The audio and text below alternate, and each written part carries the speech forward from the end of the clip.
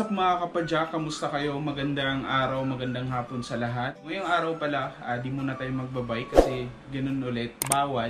Gawin natin ngayon is, ah, ano tayo, magluluto tayo ng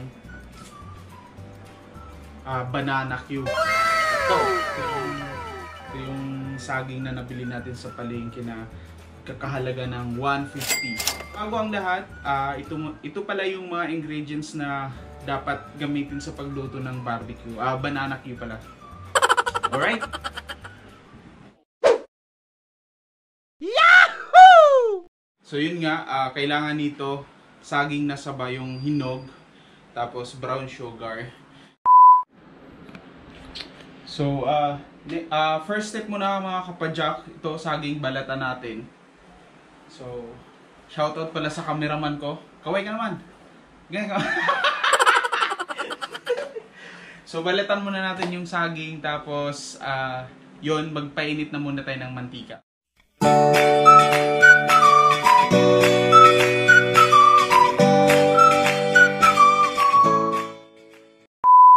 So ito na mga kapadyak, ah, ang gagamitin natin is rice cooker kasi para ano, para mas mabilis uminit yung mantika. Ayusin mo naman yung hawak mo ng camera para. so ayun, ah, ito yung gagamitin kong ah, lutuan, rice cooker para mas manipis siya tapos mas may, mabilis uminit yung mantika. A few moments later. Kasama ka? Mhm. So ito yung kala namin. Maliit lang. Huh, grabe ang init ngayon mga kapadyak, no? Ang init, abot hanggang singit. So ayan. Tapos, ah, ang sunod ang sunod na step nito is ah Siyempre, painitin lang muna natin tong rice cooker tapos yung mantika. Tapos, meron pa yung ingredients natin. Kailangan natin ng brown sugar. Yan. Ito na yan. So, kuha tayo ng mantika rito. Baby na, yung gamit na yung babe. Oh, yun, huy. Yun. Huwag yan, nakakasira ka naman sa vlog. Kunwari yan lang, pero wag yan ibubo mo. Very good. Diyos ko, boss.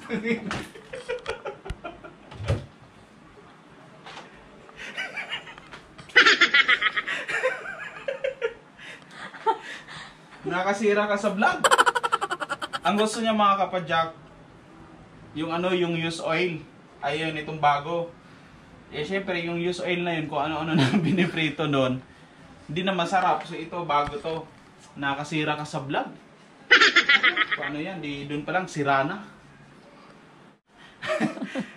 so, ayun, ah, habang pinapainit natin yan, so yun nga, ah, kailangan nito saging na saba yung hinog, tapos brown sugar, tapos ah, ni-recommend ko na sa anong rice cooker ah, piprituhin kasi para mas manipis, mas mabilis uminit yung mantika. Okay? So, tingnan natin yung mga susunod na steps mga kapadyak. So, ayun ang mga kapadyak. ah medyo mainit na yung mantika natin. So, sakto na yan para prito na natin tong ah, saba na saging natin. Ito. Yan. So, ito. Yung apoy nito, huwag kang, ang gulo mo naman kumuha ng mga, ano, mga kapadyak, sorry ah, medyo magulo yung cameraman ko eh. So, ito, ah, lulutuin natin. Tapos, yung apoy natin dyan is ah, low to medium fire. Okay? So, lagay na natin dito.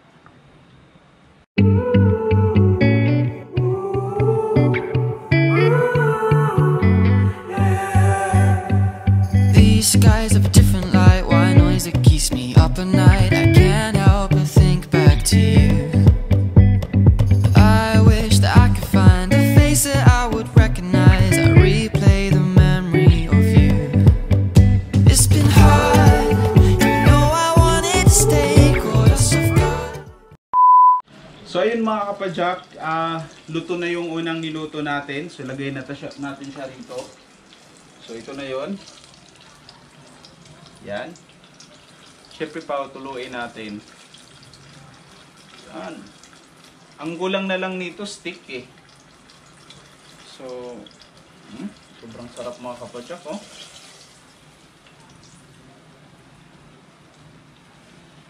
Yan.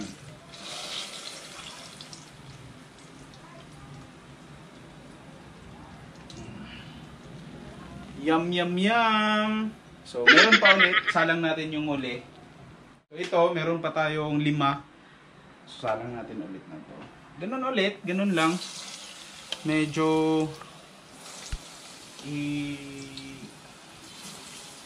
deep fry mo yung saging bago mo lagyan ng asukal or brown sugar. Yan. So, ganun lang. Ganun lang kasi yung mga kapadyak. So, kahit bibili ka ng kahit mga ilang pirasong saging lang, lima, anim, or kaya depende kung ilan yung kakain. Ganito lang gawin nyo. Brown sugar, napakasimple lang. Meron ka ng pang merienda. So, since ano, kumain, yung merienda pala namin kanina is kanin, ito na lang yung hapunan namin, parang naging baligtad na. So, ayun. Ah, medyo halo-haloin lang natin siya. Golden brown. Deep fry. Yan.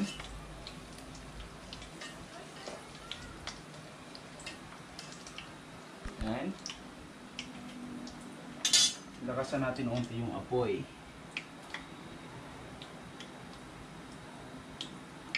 Yan. So, ganun ulit mga kapadyak.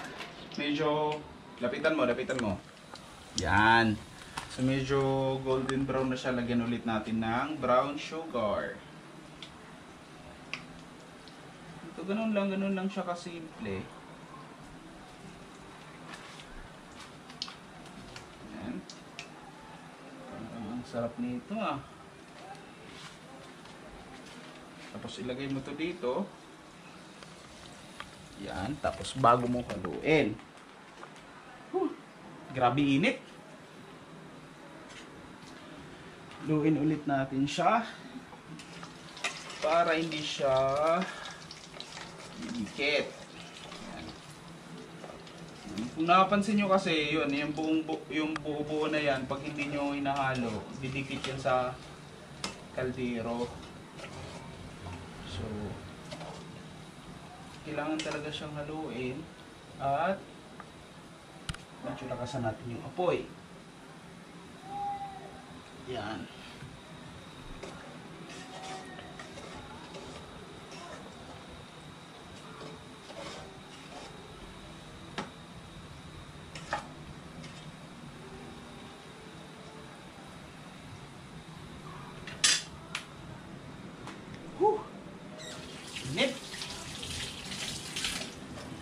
So yun, antayin na lang natin siyang mag-golden brown mga kapadyak. Tapos after nun, okay na.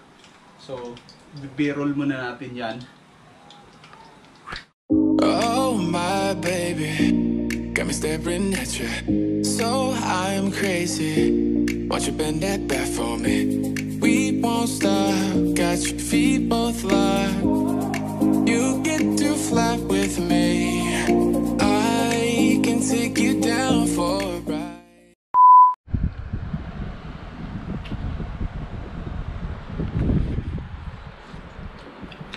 Sarap. Saktong sakto lang yung lasa.